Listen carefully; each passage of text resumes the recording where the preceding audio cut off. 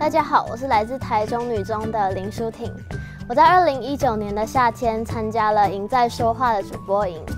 前两天呢，我们到了 DDI 的大楼里面，呃，讲师教给我们很多学、学习说话的技巧，然后怎么克服在台上的紧张不安。然后我觉得最受用的就是我刚刚讲的怎么克服紧张。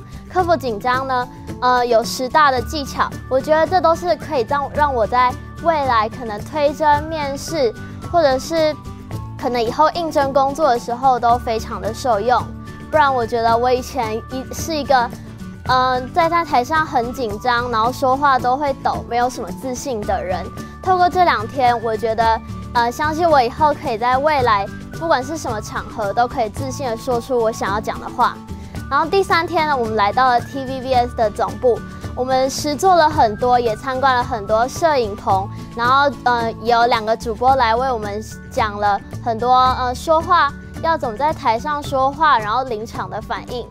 呃，我最印象深刻的是我嗯去呃站在台上实做了一个嗯计时描述，然后你要讲很呃在那些描述里面讲完你要讲的话，我觉得这是一个非常大的挑战，也是一个很新奇的体验。